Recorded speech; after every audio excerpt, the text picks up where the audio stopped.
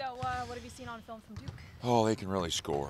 They, uh, you know, can get up and down. Allen, Ingram, you know, Kennard. They've got really good scores. So defensively, we're going to have to be really sharp. Transition D is going to have to be really good. Uh, they average 81 a game, and they're capable of getting that any time out. Do they remind you of any team you guys have played so far this season? Not really. Um, they're a little different just because you know their perimeter scoring's pretty good. Uh, um, so no, I, I can't think of anybody they're really similar to. How do you feel like you're defending the three the last couple weeks? A little better. We're running some guys off the line, but still not where we want to be. We still, you know, make some mistakes, not getting a hand up, not getting a hand on the ball, and give up some uncontested ones. And we definitely can't do that, you know, Thursday night. Um, we got to contest their threes. You had mentioned a couple weeks ago rotating, getting into the corners. It seems anecdotally like you haven't been been hurt that bad by shots from the corners. No, not as much. Uh, Jordan gave one up the other day, uh, but you know, not as much. You know, our bigger guys. Chris has done a better job. Jordan's done a better job. Um, but they take 24 a game. You know, they're going to get them up there quick. And you know, against Yale, they had the big lead at halftime because they hit nine threes in the first half. You know, so we've got to do a really good job. They don't have kind of your traditional point guard, so you kind of see where your press and trap might be advantageous against them. Hope we hope. Uh, you know, it uh, anything to throw them off the rhythm. They're a real rhythm offensive team, and when they get it going, uh, they're really hard to stop. So we're hoping we can disrupt them a little bit. They, they only play six guys since the injury, and you guys are leaning heavily on seven. What's the process from your perspective of just managing that kind of rotation and getting through to this point in the season with with that? Oh, we, you know, we feel real comfortable with our seven, and we know that Kendall and Roman, you know, they've they've stepped in on occasion and have done really well. So uh, we're not afraid to go nine deep uh, when we have to, but right now we, we're working more with seven. So uh, you know, however many guys they play, uh, you know, doesn't really matter. It's a one game. They've had all week to rest, you know, so it's it's not like they're getting them on the second game. You've got some guys that are going to be playing close to home. You think they'll be particularly excited? You're going to have to deal with the, some Oh, emotions I, with them? I don't think so. I think you know, we're fired up enough about the tournament. I don't think playing in LA is going to bother them too much. Anaheim, LA. You guys have a pretty good reception here the two days you've been back in Eugene.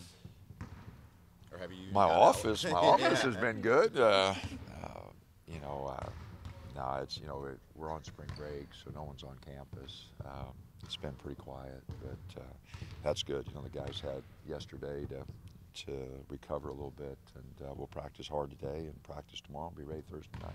I wanted to ask you about Casey Benson. How well has he been helping your offense flow properly?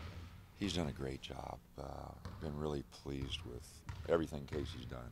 I mean, he's he's worked his tail off. Uh, you know, he's been really solid for us. No turnovers. Uh, defensively, he makes some plays. He had a big rebound the other night. Defensive rebound went and got it, and uh, three or four from the free throw line late. So, no, I I think Casey's worked awfully hard.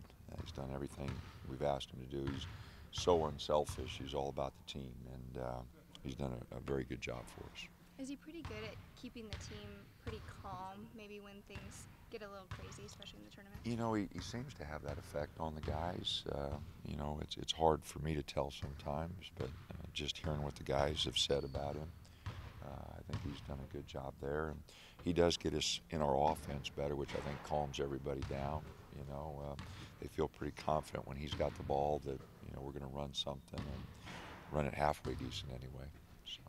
Dana, you mentioned that after the St. Joe's win, you wanted these guys to kind of take it as a, a regular game going up against Duke. But have you seen them kind of ramp up that intensity at all as you guys get? You know, we, we didn't practice yesterday. We, we just got together and, and talked about a lot of things and went over some things uh, recovery wise and that. So uh, we'll, we'll see today, you know, how they, they handle practice, how they handle film. Uh, you know, when we travel today and watch film tonight, uh, how they handle that preparation. But, you know, again, we just, yesterday was more of a recovery day. I wanted to let them, you know, get away from it for a day other than get in the cold tub and, and get on the foam rollers and, and try to get themselves ready for a good practice today. We've seen in Tyler Dorsey his confidence. He had some big shots in Spokane as a freshman. He'd never been on a stage like this. What, where's his confidence level right? Oh, he hits big shots, you know, for us all the time. Played really well, you know, in our last two games in LA. Played well in the conference tournament, um, and and he did play well. So he'll be fine. You know, he's he doesn't lack for confidence. He's you know scored a lot of points his whole life, you know, his whole career. So uh, he's used to scoring, and uh, you know he hit some big shots. We got a big offensive rebound put back for us. The three was big, and then uh, the two free throws to ice it.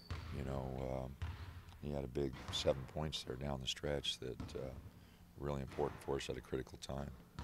Talk about making sure the players are getting recovered and everything. These stretches taxing on coaches at all?